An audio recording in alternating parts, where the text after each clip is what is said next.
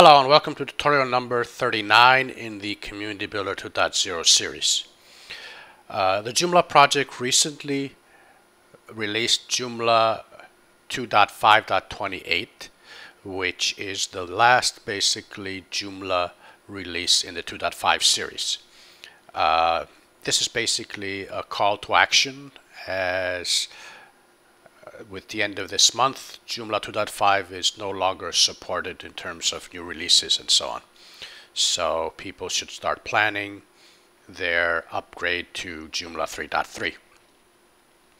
Uh, based on this, we've this tutorial and this video tutorial and the tutorial I'm showing you right now on Joomlapolis will help you uh, migrate, upgrade your Joomla 2.5 site to Joomla 3.3.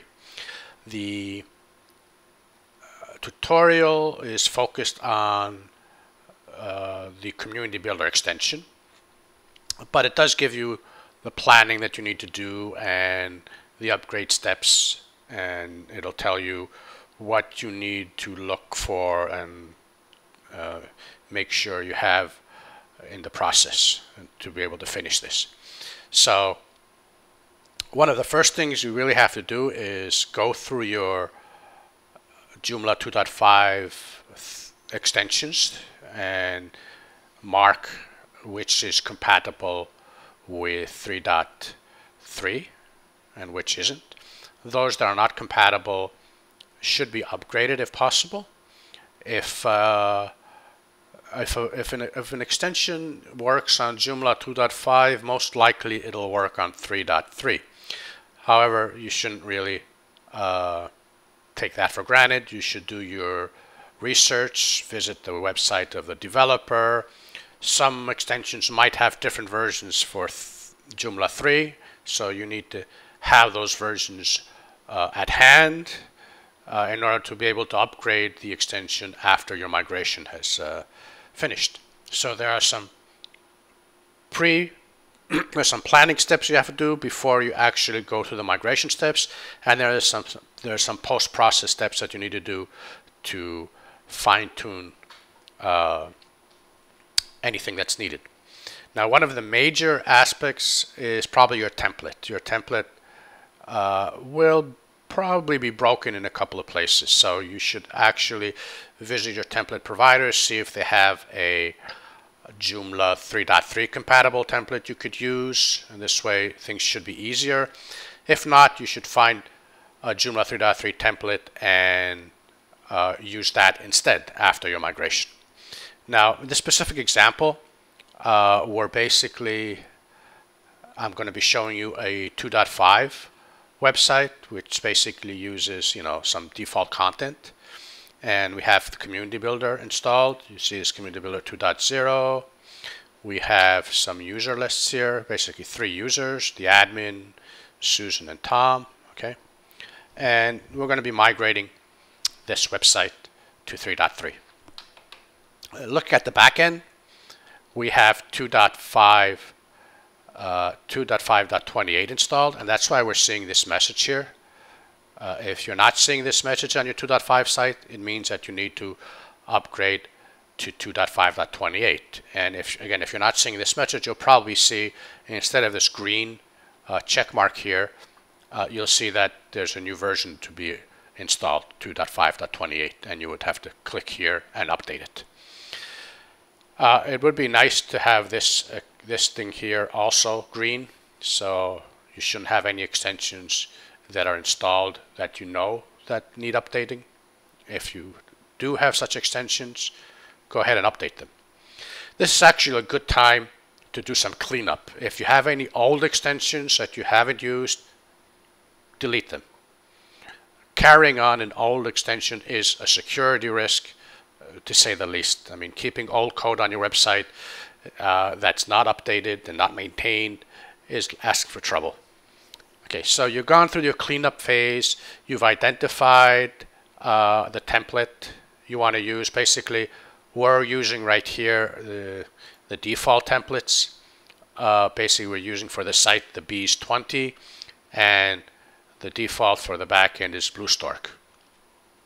So instead of Beez 20, we're going to be using one of the default templates that Joomla 3 has, the, the Protostar template, which we'll see that once we have done the migration. Uh, that's about it. I mean, so we've identified, we've done our planning. We know that Community Builder 2.0 will work just as well on uh, Joomla 2.5 as it will in on 3.3. Uh, so there's nothing to keep in to keep at hand there. There are some post post uh, progress steps, post process steps that uh, basically involve the community builder login module, which I'll show you. Uh, but that's these are minor minor uh, configuration aspects. They're also outlined in the tutorial. All the URLs of the tutorial and any uh, additional resources will be given in the comments section of the video. So you don't need to take notes here. Okay, so we're ready to continue, but, but the first thing we really need to do is we shouldn't really try this on our live website. We should actually clone the website into a test environment and go through the process as many times as we need on this test environment. And when we actually are satisfied with the process and have taken notes and you know and everything, then we go and apply this on the live website, making sure we've taken a backup first. Okay, nobody will take a backup for you. You have to take the backup and make sure you can restore to that backup if something goes wrong. Now this is uh, not a difficult process, but you really have to take it a step by step. These are this is a live website. It's you're not really playing games here, even though it's easy.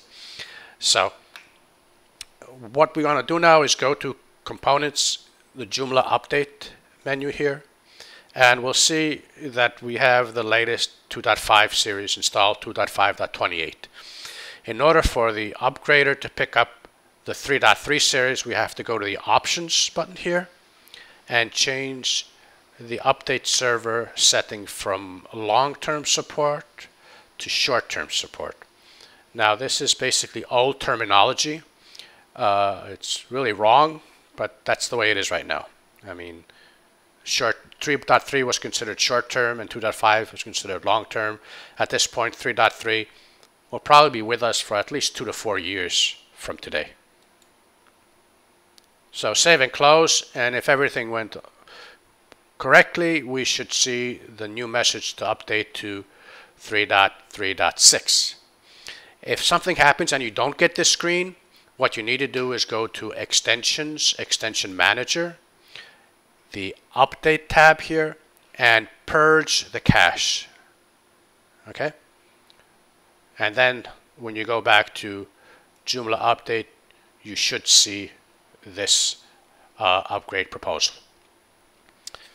Okay, if we're ready now, we click on the Install the Upgrade button. The Joomla system will download the patch needed and go start the process, we see the panel here, the progress panel.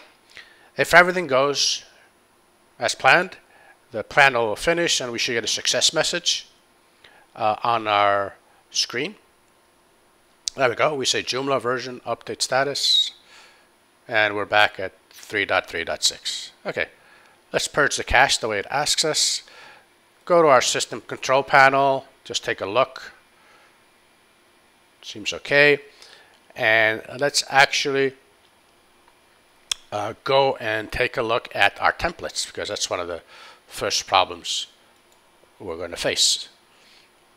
We see that the previous uh, BlueStork administrator template from the 2.5 world is no longer the default admin template and in its place the 3.3 ISIS default template has been tagged as default. We still have the Beez 2 front-end template uh, for Joomla configured. Let's take a look and see what it looks like. I'm, I'm just keeping this the way it is here and doing new just to see what, there we go. So we see we have the breadcrumb is kind of messed up here, the paths. But this is the old template we're talking about. Everything else doesn't look that bad. Okay, the user, let's just see what this looks like. That doesn't look that bad either. Okay, but we decided basically we're not going to use this template. We could probably tweak it and maybe need to make changes to it. But we decided we're going to be using the uh, default protostar template here. So let's just select this. Okay, and let's go now to the front end and go to home. There we go. So this is what it looks like. We see our our homepage menu here. I mean, we'll fix this later. Let's go to the community builder login. See, this is this breaks the uh, the position here. So what we need to do basically is go to our extensions module manager. Again, these steps are outlined in the tutorial on Joomlapolis, so you can just go and read that.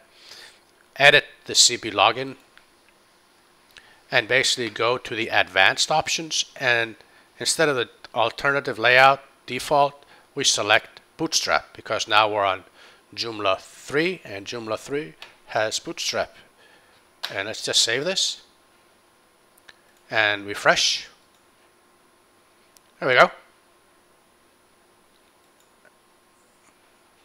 The registration form looks okay Okay, we might want to play with these here. I mean, this is template related, so your template basically uh, basically has instructions on how to handle these uh, the main menu. So in this case, let me just take a look at uh, our main menu, extensions, module manager, and we have a main menu here.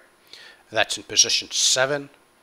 Uh, the correct position for the main menu on the protostar template is position 1. So we want to look at here protostar position 1 is the navigation.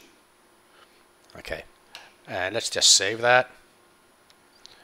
And let's take a look at what that looks like. Well, it's moved to a different position, but it's still not, we still need to play a little with it, the configuration. The next thing we need to do basically is go to the advanced area and this is okay. Here where it says module class suffix, we need to put nav dash pills. This is the name of the uh, the class that's installed. And hopefully if we refresh this now, nope, we didn't do something right.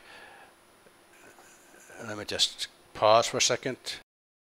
Yeah, it was nav that nav dash pills. I just had a typo here. So if I save this and go to the front end here and refresh here, we will see the new area here. I mean, that's how it looks like now. So now we just have to go and test, make sure everything uh, seems in order, uh, fine tune our new template if needed, the way I did in this case, and that's it. You can then just go through the same process on your live website. Thanks for watching. I hope this helped and I hope it really uh, inspires you to migrate your Joomla 2.5 site to Joomla 3.3 as Joomla 3.3 has many more features. It's totally responsive. It'll work fantastic on uh, a mobile device or a tablet or your desktop. Thanks for watching. See you again soon. Bye bye.